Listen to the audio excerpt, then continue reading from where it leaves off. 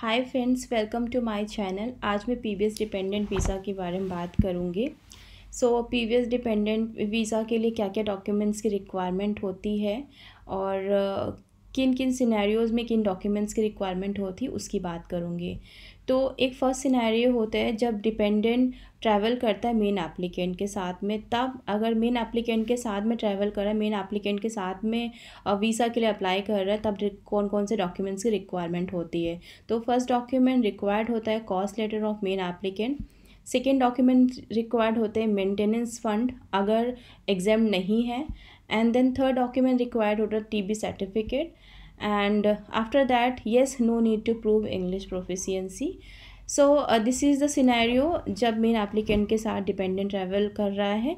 And second scenario होता है जब डिपेंडेंट मेन एप्लीकेंट के साथ ट्रैवल नहीं कर रहा होता है। मीन्स अगर यू के में मेन एप्लीकेंट के अराइव होने के बाद आफ्टर अ मंथ अगर अप्लाई करते हैं डिपेंडेंट वीज़ा के लिए तो वहाँ पर कुछ डॉक्यूमेंट्स और ज़्यादा एड ऑन हो जाते हैं। तो वो कौन कौन से डॉक्यूमेंट्स हैं? तो again the same cost letter चाहिए होता है मेन एप्लीकेंट का। सेकेंड डॉक्यूमेंट की रिक्वायरमेंट होती है B R P card of main applicant का। And after that T B certificate चाहिए होता है।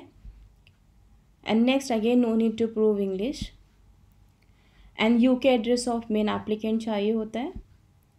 Salary slip of main applicant and U K bank statement of main applicant so so, uh, मैंने visa related कुछ और videos भी बनाए हुए हैं। मैं उनके लिंक डिस्क्रिप्शन बॉक्स में दे दूँगी। अगर आपको इस रिलेटेड कोई भी क्वेरी है तो प्लीज़ आप मुझे कमेंट uh, करके पूछ सकते हैं।